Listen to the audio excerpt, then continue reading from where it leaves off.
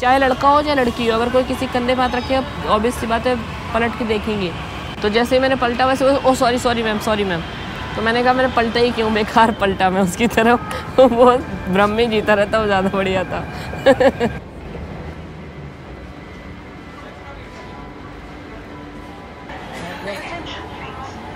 First